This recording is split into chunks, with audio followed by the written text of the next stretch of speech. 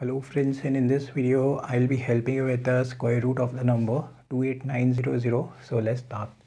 So first of all we need to write the number like this 28900 next thing we need to do is we need to form pairs from the right hand side. So one pair will be this one pair will be this and this two will be left out. So first we'll divide this two and then we'll bring down the pairs. The rule is whatever number we write here we need to write here also so if we write 2 here and 2 here it will be 4 which is greater than 2 so we cannot take it.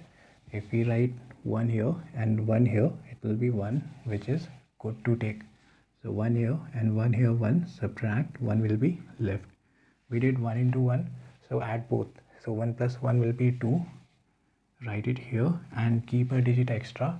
And this number we need to make it big.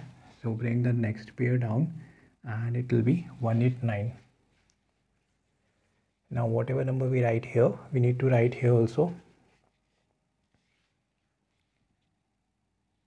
So if we try 7 times that is 27 into 7 if we try it will be 189 which is good to take. So 7 here and 7 here 189 subtract 0 will be left now here we have got 0 but if you see we have a pair of 0 that was part of the number which is yet to be divided okay?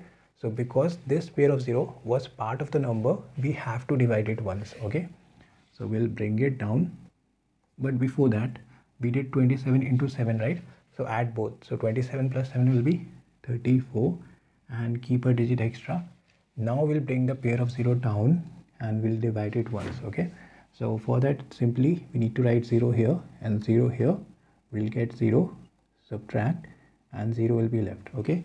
Now because we have finally got 0 after dividing the pair of 0 which was part of the number the answer will be in the quotient that is 170 so square root of 28900 will be 170 that's it. So this is all. If you found the video helpful please do hit the like button. Do consider subscribing and thanks for watching